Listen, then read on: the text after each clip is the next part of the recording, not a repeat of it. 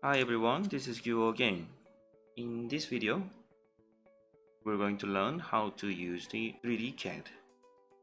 So if you have a 3D CAD for the part that you want to inspect, that can make it so much easier to write DMIS, graphic report, or many other things. Among those things, I would like to say auto recognition is very useful function indeed because it detects the edge of the feature and you can modify the area of measuring very easily as well. So let's take a look at what we need to know to use this useful function. First, import. To use various 3D CAD files, you will have to import the file first to use it on NeuroMeasure. These are the files that NeuroMeasure support. So after importing is done, DUK file type will be generated automatically in the same folder. Then next time you won't need to import again. You can just simply open the same name as a DUK file. Second, move CAD model. So you probably already know what this function does. Yes, it is a function of moving the 3D CAD model. So there are many options. First, move. You can use mouse or input the coordinates to be moved the CAD model. Rotate.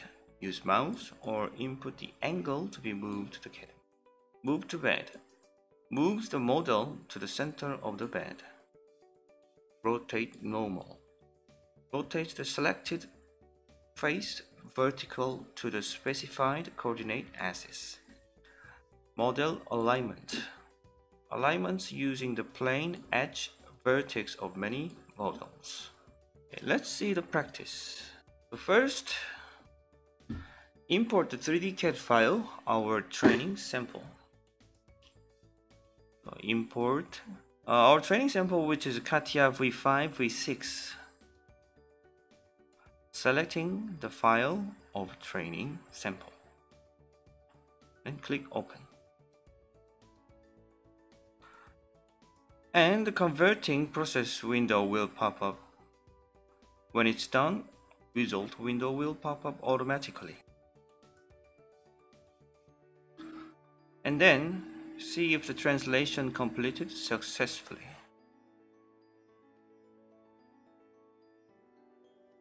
So when you import a CAD file for the first time, it will most likely under the MCS because LCS is harmonized with the current coordinate system which is MCS right now.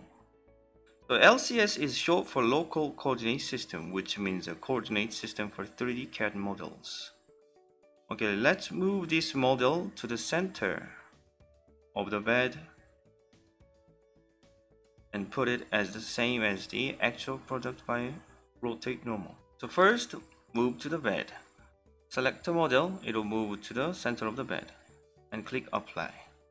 And then click rotate normal and select the model you want to move and then click the plane that you want to rotate. Apply. Now you can see the model and the training sample are looking at the same direction.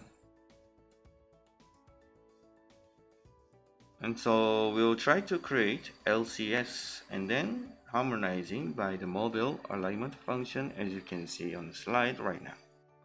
So to create LCS, first you should convert the NeuroMeasure to offline to prevent any collisions. And then set a coordinate on the 3D model.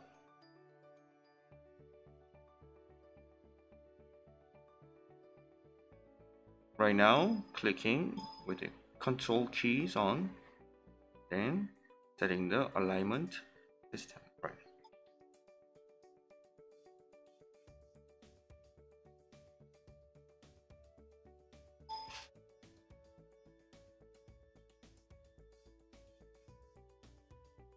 So after that go to model alignment.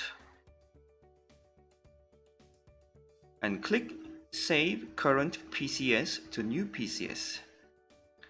Then LCS3 will be created. Then bring back NeuroMeasure to online and set a coordinate on the actual part with the same data.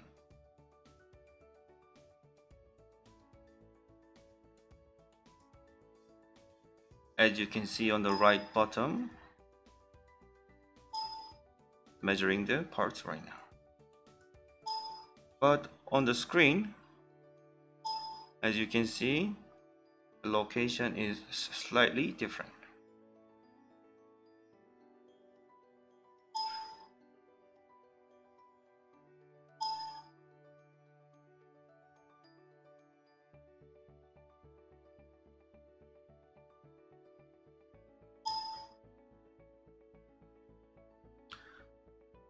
So now open model alignment and click LCS3 first and then click move to the model to current PCS2 harmonize the model to the PCS from the actual part. Now it's all done and let's measure a circle with auto recognition. Click measure circle and click the area you want to measure on the model and then it'll automatically recognize the hole and modify the count a little bit and click OK to start the measurement.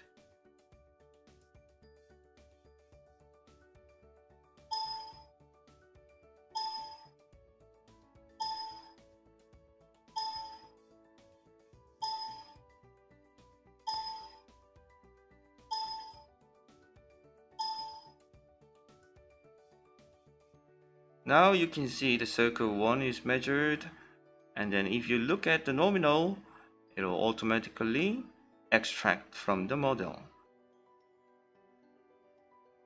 So by harmonizing the 3D model to the actual part, you can do real-time comparison measurement. So it's really useful to inspect profile tolerance of the part and applying orders are. So this is basically the steps that we've been through earlier in the video. So please refer to this page if you didn't catch up the video correctly. Okay, thanks for watching and I'll be back with you guys in the next video. Thank you.